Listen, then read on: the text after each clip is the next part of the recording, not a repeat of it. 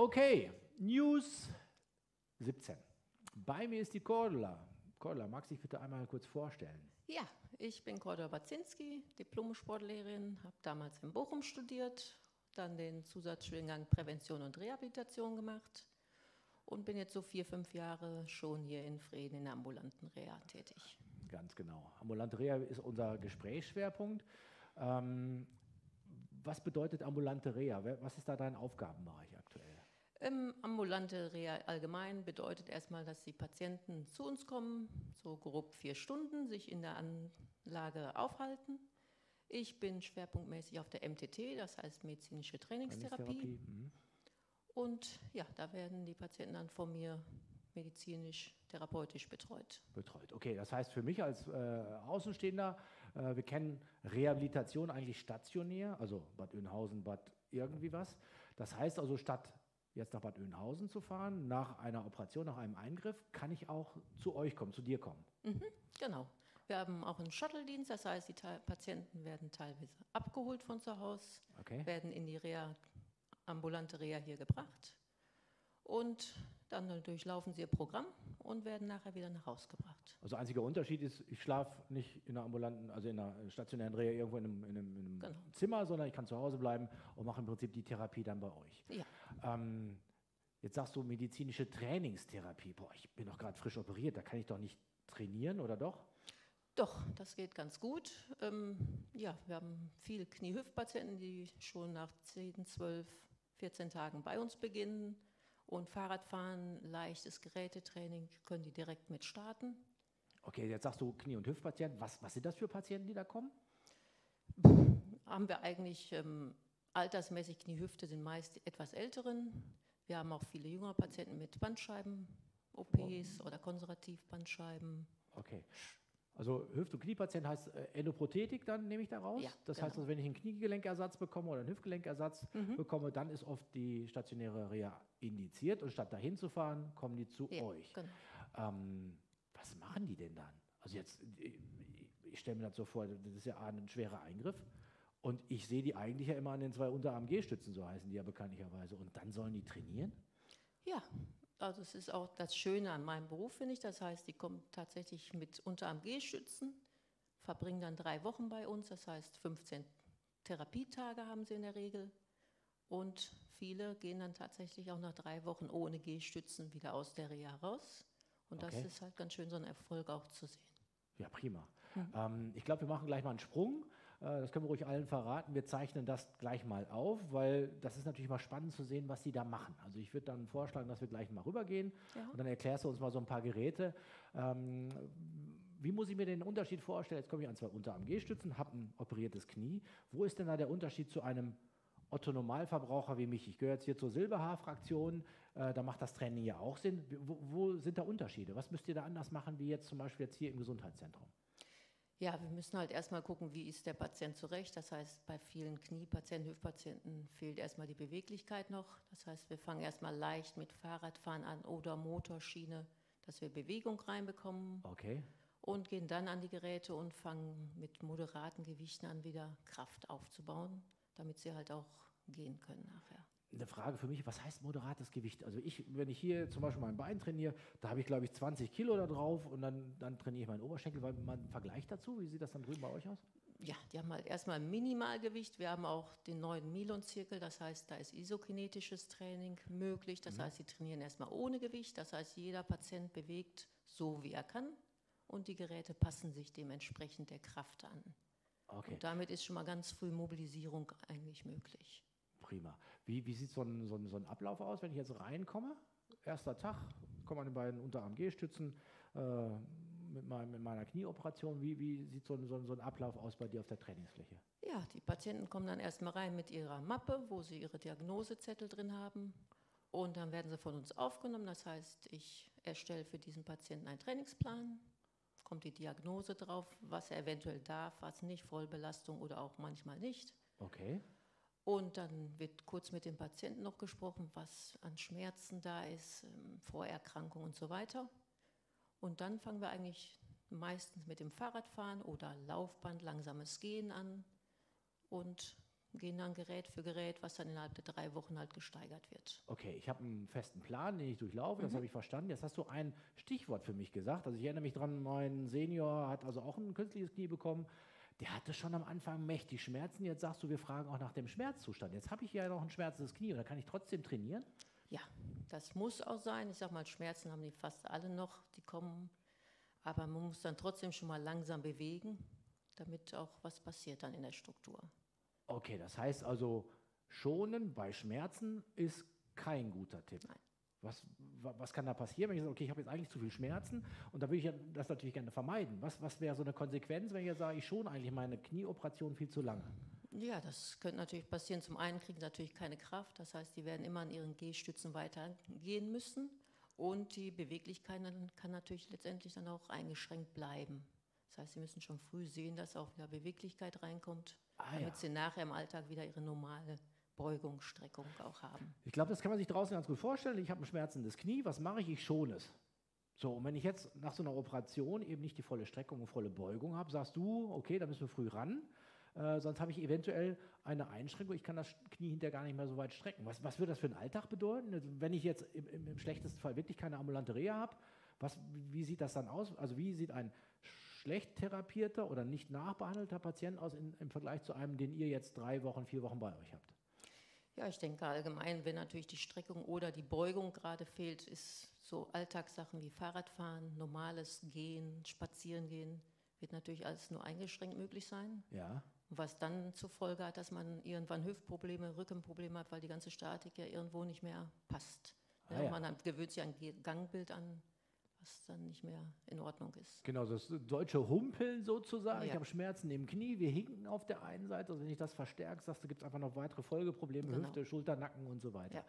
Okay, ähm, wir gucken uns hinterher mal so einen Durchlauf an mit den einzelnen Geräten. Mhm. Ähm, wie könnt ihr den Patienten tatsächlich entlassen nach den drei, vier Wochen? Also wir hatten gerade diese Bewegungseinschränkung gesagt und Fahrradfahren ist, glaube ich, für die Münsterländer ein zentraler Punkt. Ähm, beschreibt mal, wie, wie, wie kommen die rein und vor allen Dingen am Ende, wie, wie, wie ist so das Alltagsleben, wie, wie kommen die wieder raus?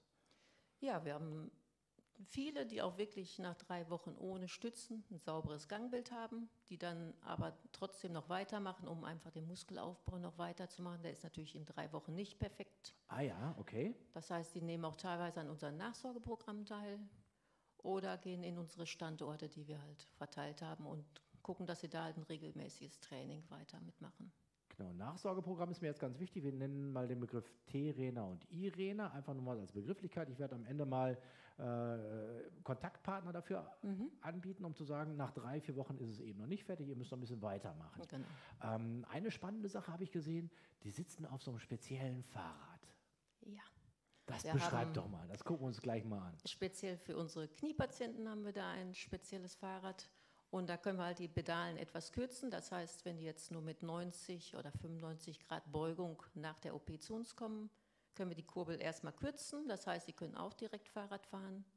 Und ja, meist nach ein, zwei Wochen haben sie dann aber auch ihre 110 Beugung, dass sie dann normal wieder auf das Fahrrad können. Ja, toll. Also das Mhm. heißt also, ich bin soweit alterstauglich. Ich kann also erstmal meine beiden Unterarm-G-Stützen wegstellen. Ja. Durch dieses spezielle Fahrrad wird die Beweglichkeit immer besser und wir können in Aussicht stellen, dass nach den vier Wochen das Fahrradfahren irgendwann wieder möglich Ja. wird. So, was, was empfiehlst du denn jetzt, wenn die fertig sind? Wie viel Zeit muss ich mir denn am Ende nehmen, um zu sagen, naja, nach vier Wochen bin ich eben noch nicht austherapiert, wie du gerade erwähnt hast? Was muss denn da noch folgen? Denn ich weiß es auch aus der Familie, da war nach der Operation und nach der Physiotherapie erstmal Schluss. Was, was würdest du sagen, ist eigentlich der, ein, guter Weg? Was kannst du da noch zu, Ja, auf jeden Fall, dass sie ein, zweimal die Woche weiter Muskelaufbau machen. Viel Bewegung. Dann ne, Fahrradfahren ist natürlich bei vielen noch nach einem Monat schwierig draußen, weil einfach die Sicherheit nicht da ist. Das heißt, wenn man mal in eine Situation kommt, wo man absteigen muss, muss man halt sicher auf das Knie oder das neue Gelenk auch stehen können. Da sollte man ein bisschen vorsichtiger bei der älteren Generation sein. Okay, Und dann lieber erstmal in so einem Fitnessstudio ein bisschen was machen. also auf jeden Fall weiter trainieren. Auf jeden Fall, Also äh, das Alter Nicht schützt da danach, nicht vor nein. Schaden. Nicht? Also auch mit 70, 75 oder 80 macht es auf jeden Fall Sinn, ein dosiertes medizinisches Training Ja. durchzuführen. Ja, prima. Ja, ich habe da erstmal keine Fragen. Wir gucken uns jetzt mal ein paar, paar Sachen bei dir auf der Ja, Trainingsfläche an. gerne. Äh, wenn noch Fragen sind, E-Mail-Adresse wird gleich eingeblendet und dann können die sich an uns wenden. Prima. Gut. Vielen Dank.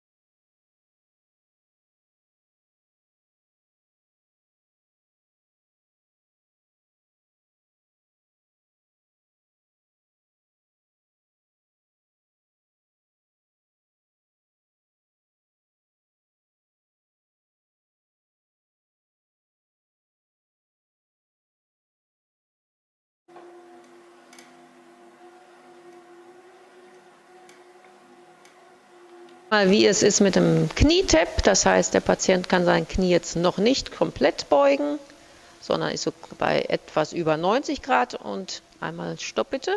Dann kann ich hier die Pedale etwas kürzen und damit hat er jetzt die Möglichkeit, mit einer geringeren Beugung auch schon Fahrrad zu fahren. Er kann den Fuß noch etwas mittig draufsetzen, dann hat er es noch ein bisschen angenehmer und kann dann da halt bis an seine Beugegrenze, wo er im Moment steht, trampeln. Und diese Pedale können wir dann innerhalb der Wochen, wenn es besser wird von der Beugung, immer mit anpassen. Okay, das ist der Shuttle. Da kommen die Patienten auch direkt vom ersten Tag an drauf. Das heißt, hier haben wir auch keine Gewichte. Wir arbeiten mit Gummizügen. Das heißt, wir können es erstmal ganz leicht stellen. Und der Patient kann hier direkt erstmal mit beiden Füßen arbeiten. Wenn das gut geht, einmal Stopp bitte können wir das auch etwas leichter machen. Er nimmt das gesunde Bein runter, das ist jetzt mal diesen. Und dann kann er auch mal nur das operierte Bein mit ganz leichtem Gummizug, so gut es geht, schon mal trainieren.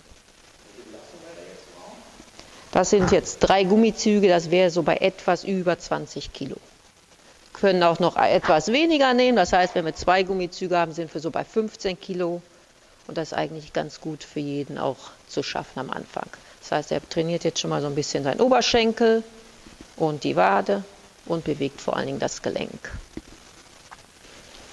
Okay, da haben wir hier noch die Standbeinphase, was ganz wichtig auch für die Patienten ist, damit die Sicherheit bekommen. Das heißt, wir legen hier so ein kleines Hindernis hin.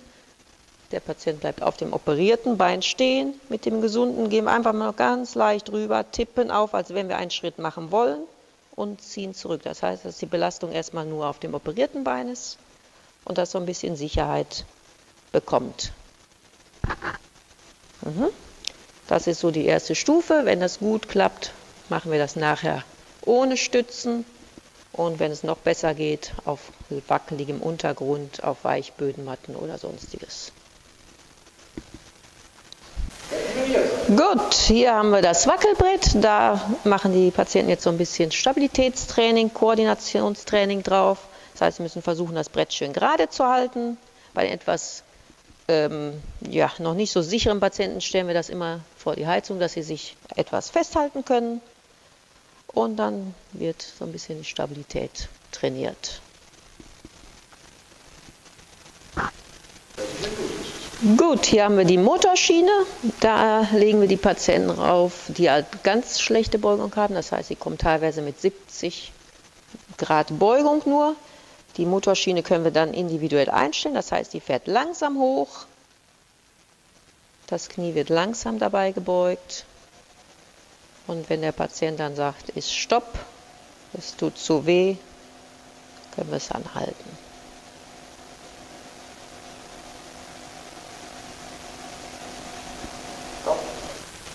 Okay, bis dahin wird es gespeichert. Wir können die Motorschiene anstellen. Und dann fährt die je nachdem Viertelstunde, 20 Minuten, immer nur bis zur Beugung. Wir haben jetzt 67 Grad, fährt sie rauf und runter und mobilisiert so das Knie. Ja.